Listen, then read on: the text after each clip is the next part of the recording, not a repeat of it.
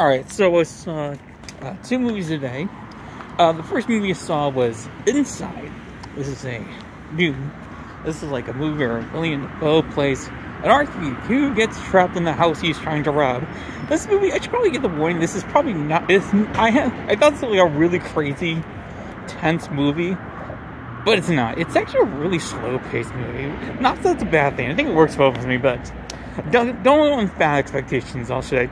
Um, it was fun. It was pretty good overall, but I feel like he got rarely great at the last bird when he got a little more introspective into Nemo. That's the Blumenthal's characters like backstory stuff. A lot of it is just him trying to figure stuff out, and it's interesting, but I could have I could have spent more time like revealing stuff that are really interesting about the setting or character.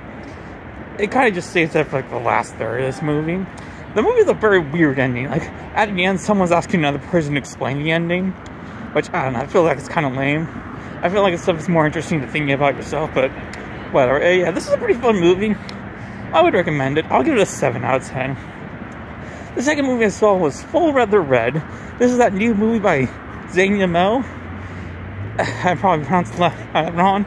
You don't know who he is? He's this director from China who does some really, really great movies. I highly recommend filmography. This is a really good one. It's like, um, uh, so I'll admit this movie's kind of crazy to follow. There's a lot of characters, and like there's like a whole because it's like constant. It's like everyone's constantly turning backs to each other. Like there's like constantly. You, this is like I don't know how to describe this really, but it was so much fun. It constantly kept me on toes. So much surprises. Everything was just so satisfying.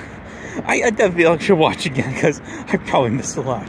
But it was a wild ride. It did not feel like two and a half hours long. I think it was two hours and 37, 39 minutes, I think. It's a pretty lengthy movie, but it was so much fun and gripping.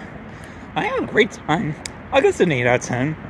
Uh, tomorrow, I'll see Creed 3 and that new Shazam movie. I'm going to try to watch the first Shazam before I see that because I haven't seen it yet. Um, yeah, we'll see you tomorrow.